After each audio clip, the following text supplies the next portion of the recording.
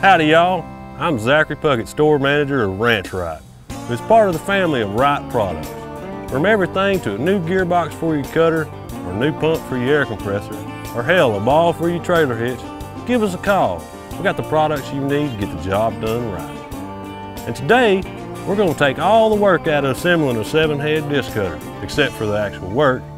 While you sit back there in your underwear enjoying the cold one, just watch me and we'll show you how to assemble a brand new Ranch Rite 7 head disc cutter.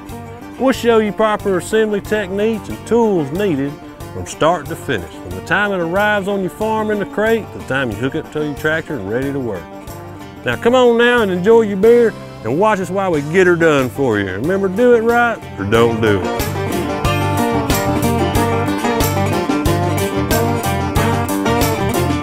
Let's go get the job done.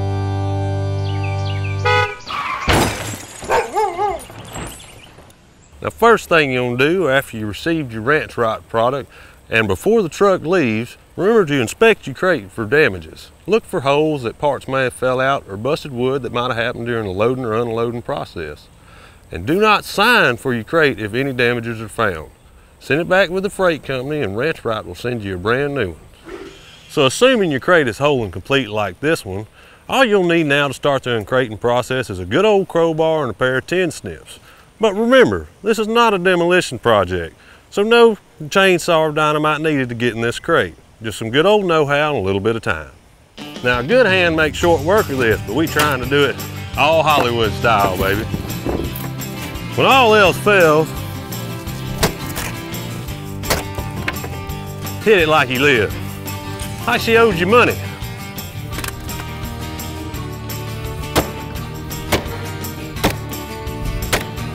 Tell you what, I busted in a lot of equipment and this is the baddest crate ever. Not bad enough, apparently.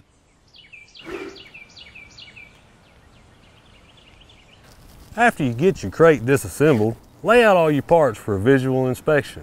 You should have your main frame that attaches to your cutter bar for the three point of your tractor. You'll also be supplied with a drive shaft.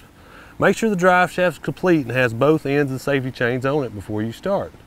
We also supply front and rear curtain rods to hang your canvas curtain on the machine after assembly. We also supply canvas to cover your machine to protect the operator from flying projectiles. I like to leave my canvas out in the sunshine for a little bit to ease installation. Then we'll send you your front guard to protect the operator as well. And that attaches to your bottom skid plate on the first cutter head of your machine. We also sent a box of parts supplied as shown here. If you're looking for a parts list, you should find one somewhere on this, they told me it would be here, on this, this video somewhere, you'll find it.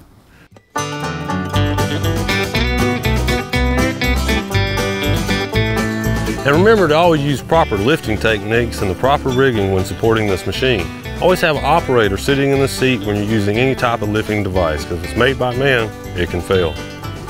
As you see here, we got our machine supported by a strap being held up and we're gonna use our stand today as the original factory supplied kickstand for when the machine's in the stored position.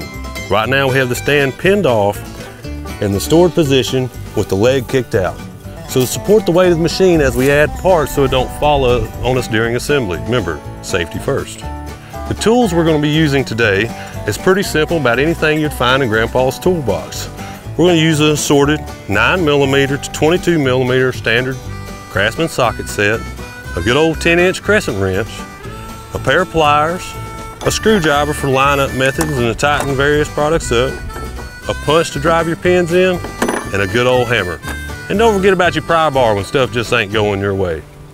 And remember, this is not a big ordeal to put together. It's very simple. Your child, as he assembles his Lincoln log set as a, as a kid, could put this together with a, a little bit of direction. And y'all be safe out there. Now let's get started. Now the first part of our assembly would be to take our three-point frame and pick it up and line it up with the pinholes on the cutter bar frame. Then we'll drop our supplied pin with it, then drive a roll pin in on the other end once we get it secured as so. Now let's get to work. Now get the best driver you can find, or whoever's around. All right, buddy, pick up.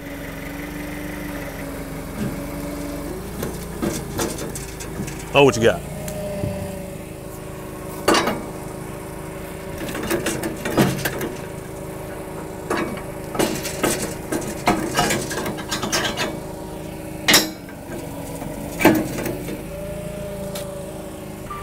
Now that you got your main frame assembled, remember to drive your roll pin in on the bottom of the pin so it stays secure. Step two will be hooking up the breakaway bar to the cutter bar. Swing it into position. Don't forget about your supplied pin. Pin it up like so. Now keep your cutter bar stationary during assembly so it doesn't get against your PTO guard.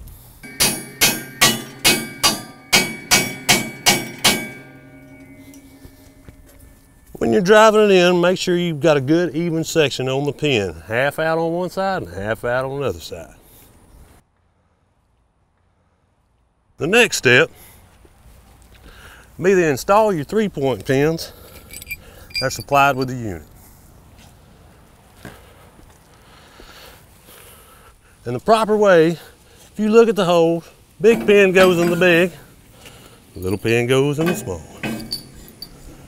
There's a lock bolt on the bottom of the frame to secure the pin. Make sure that the lock bolt fits directly in the holes cut in the pin to make sure it's good and secure and don't slide on you when you hook it to your tractor for operation.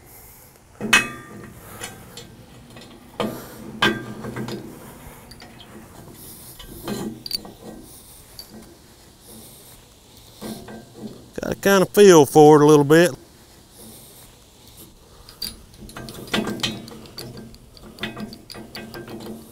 Give it a good wiggle before you tighten it up just to make sure the pin is secure. We'll do the other side, then we'll tighten up the bolt, make sure everything's right. There it is. I recommend a good rule of thumb. Tighten the small one up first and leave the big one loose for now. Depending on the size of tractor you're hooking up to, you may have to change it just a little bit. After you get your pins installed and got your bolts good and snug, go ahead and get your tractor around here to get it hooked up to the three point. So you can pick the machine up off the pallet so you can install the bottom skid. Otherwise, you'll never get it on. Now get on Grandpa's tractor, but be nice to her. We'll go get her done.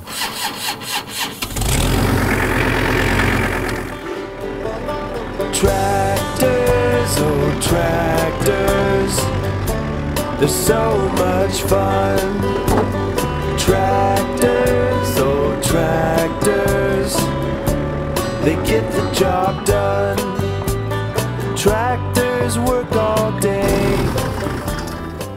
Remember to kill your tractor just for safety's sake. You don't want to run over none of them hands you pay paying minimum wage for anyhow. And after you get your tractor all hooked up to your implement, remember to test for leaks on your hydraulic cylinder when you plug it up into your three-point remotes. You never know, 2,000 PSI hydraulic fluid sure make your day unhappy. And now that we got our tractor all hooked up, we're gonna crank it up and pick the machine up off the pallet so we can put our skid plate on the bottom.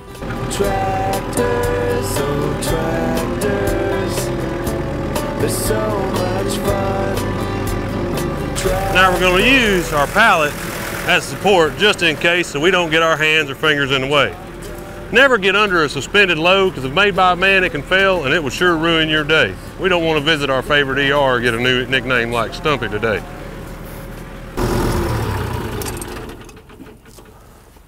Now that you got your load down and supported on your, the crate that was provided, take real care and pay attention in case your three point of your tractor starts to drop.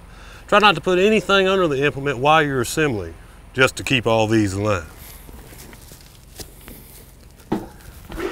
Next step, we're going to attach our skid plate and our covers to protect the operator from work. It's not a too big deal to do, just a little bit of time. And remember, don't tighten all your bolts up till you have everything assembled. All right. After you get all your bolts tight and your guards on, make sure the lineup is all nice and even. Make sure all your bolts are tightened up flush to where you crush the washer or at least the bolt is past the lock nut. After that, everything else looks pretty good. Let's move on to putting our curtain rods on, how about?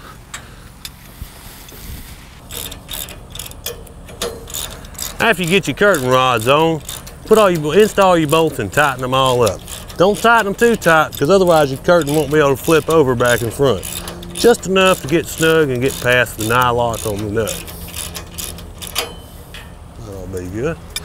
And as you see, on this model, the curtain rod picks up on front and back side for ease of access when you have to change your blades or just you just run over something and you just want to know what it was. The next step would be install your stanchions for your curtain rod, as in the hoop on the end and the downward pieces to keep your curtain from flapping in the wind.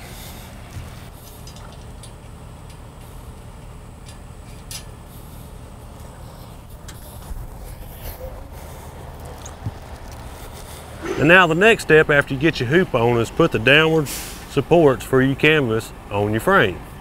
Just a 13 millimeter bolt and a little bit of time and make sure your supports are facing inward where the curve's facing in so it don't rip a hole in your canvas.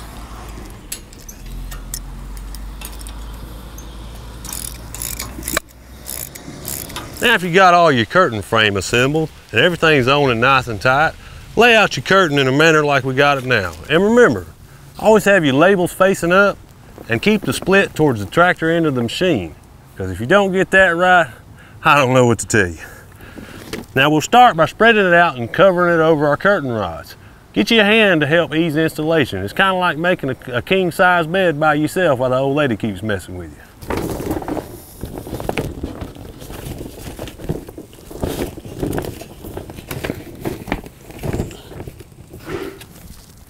Remember, don't tighten all your zip ties up till you got the last one in. Otherwise, you'll catch hell trying to move it around.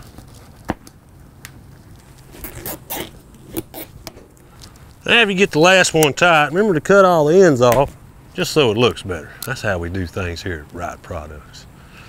And next, we'll attach your lanyard to release your safety catch where it's in the travel position. Make sure you always tie a knot on both ends of the handle so you're not in your tractor chasing your handle down the rope.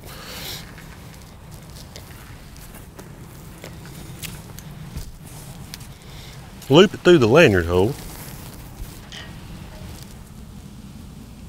And put you one of them good old Girl Scout knots in it.